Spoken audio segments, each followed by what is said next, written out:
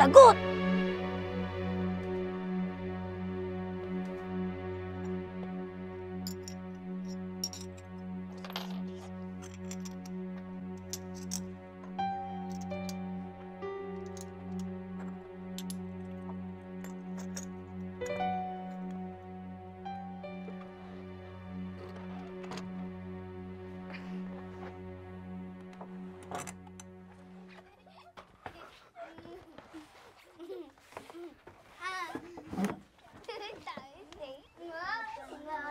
dyan, dyan. Laro tayo ng Sige, halika.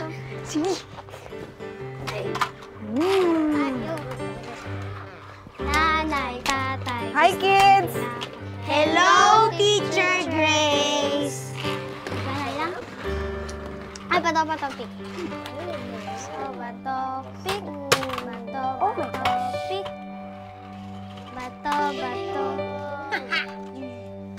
Kids, nakita niyo ba yung mug ko dito? Dito ko lang pinatong yun eh.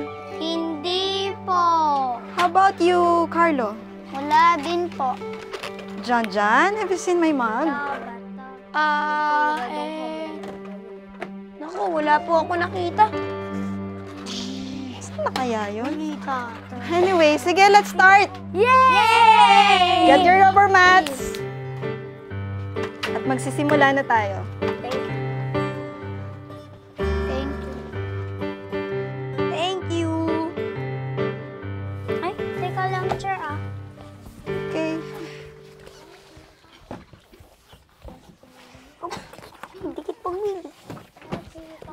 Today, our lesson is about honesty.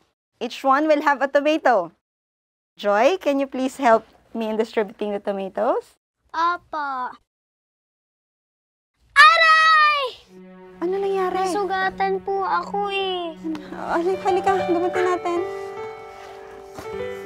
Oh, saan ba galing yan?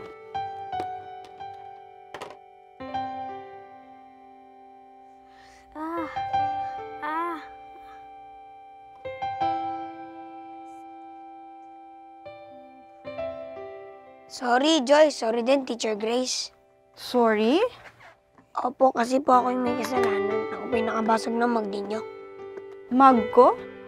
Opo, di ka naman po sinasadya. Tinamaan lang po nung pinaglalaroan kong bola yung mag nyo. Kaya po yung... Kaya po siya bumagsak at nabasag. Akala ko ba hindi mo nakita yung mug ko? Bakit ka nagsinungaling? Tatakot lang po kasi akong mapagalitan ninyo. Pero sorry po talaga, hindi ko na po ulitin. See, kids, you should be careful. Dapat nating tandaan, walang sikreto na hindi nalalaman. Ang sabi nga, walang natatagong hindi malalantad. At walang lihim na hindi nabubunyag. Kaya dapat hindi tayo nagsisinungaling. Dahil darating ang panahon, malalaman din ng ibang tao. Okay? Sorry talaga, Joy. Okay ka lang? Okay lang ako, di naman masyadong masakit ang sugat ko. Sorry din, Teacher Grace. Okay, I forgive you. Halika. Ang mahalaga, nagsabi ka ng totoo, pero sa susunod, hindi na mauulit, ha? Opo. Okay, tulungan mo akong bigay itong mga tomatoes. Thank you. Thank you. Thank you. Thank you. Now, let's continue on our lesson tungkol sa honesty.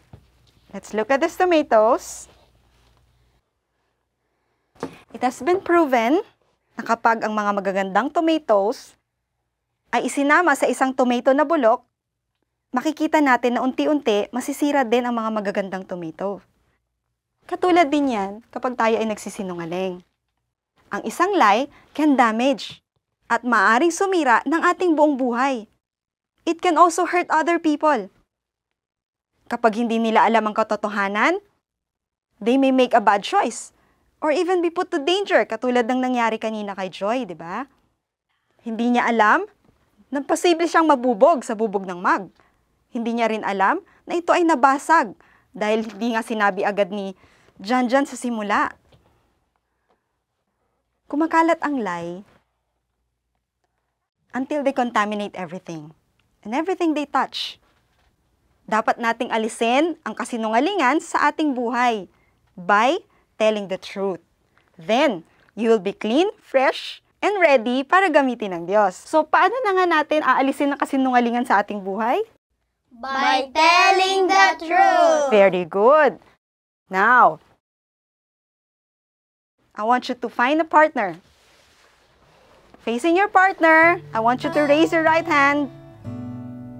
Kunwari, we are in the court. Follow what I say while looking at your partner's eye.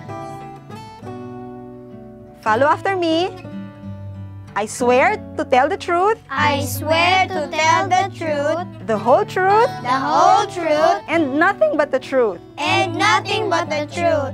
And now, put away all your rubber mats and we will play a game!